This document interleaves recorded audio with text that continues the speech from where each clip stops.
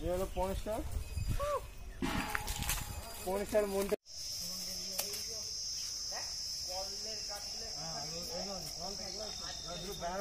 আহ ছবিগুলো গ্রুপে পোস্ট করে দিবি হ্যাঁ মুখে দে মুখে দে মুখের কাছে মুখে মুখে দে মুখে দে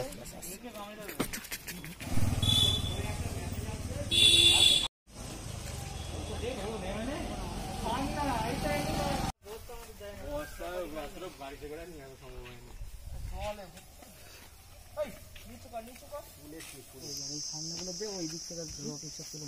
সম্ভব হয়নি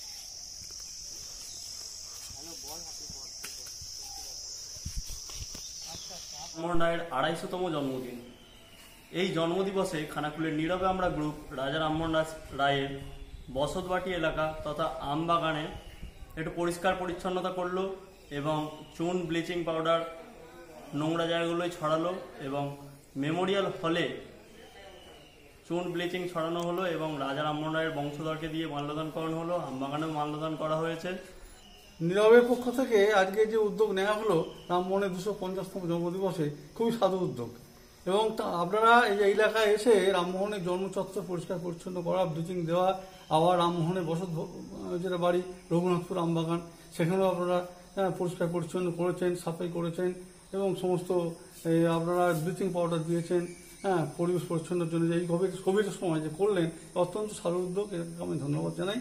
আজকে তার এই পূর্ণ দিনে আমরা এই জায়গায় সমবেত হয়েছি। আজকে তার আড়াইশো বছর ব- বয়সের আড়াইশো বছর পূর্ণ হলো এবং এই দিনেতে তিনি জন্মগ্রহণ করেছেন রাধানগরের পূর্ণভূমিতে। আমরা তাকে সকলে স্মরণ করি, করে কৃতার্থ হই এবং আমাদের কিছু কিছু রামমোহনের উন্নয়নের জন্য চিন্তা ভাবনা করার দরকার আছে। আমার যেটা বক্তব্য সেটা হচ্ছে এই যে রামমোহন রায় প্রথম রেলযাত্রী ছিল ইংল্যান্ডে।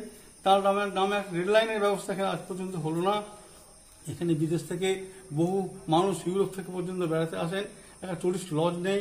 একটা রামমোহন কালচার ইনস্টিটিউট হোক, একটা টুরিস্ট লজ হোক, একটা ইন্টারন্যাশনাল গেস্ট হাউস হোক এবং এই রাধানগর থেকে কলকাতা যাতায়াত করে দুখানা সরকারি বাস। সেই বাসের কোনো স্থায়ী বাস স্ট্যান্ড নেই। রামমোহন জন্মস্থানের সামনে দাঁড়িয়ে থাকা বাসগুলো বড্ড কুৎসিত লাগে। সামনে প্রশস্ত একটি জায়গা আছে এসআই অফিস উল্টো দিকে, সাতাত্তর সালে ঘোষিত। সেখানে একটি রামমোহনের বাস স্ট্যান্ড, স্থায়ী বাস স্ট্যান্ড করার জন্য আজ পর্যন্ত সরকারি উদ্যোগ নেওয়া হলো না। অনেক অনু- অনেক অনেক অনুরোধ উপর সত্ত্বেও। আর রামমোহন এই জায়গায় যে জন্মগ্রহণ করেছিলেন তার যে মেমোরিয়ালটি, এই জায়গাটা অন্ধকারে ডুবে থাকে রাত্রিবেলা কেননা এখানে কোনো ইলেকট্রিকের ব্যবস্থা নেই। এখানে ইলেকট্রিকের ব্যবস্থা করার জন্য আমরা সকলকে অনুরোধ জানাচ্ছি, সরকারি প্রশাসনকে অনুরোধ জানাচ্ছি।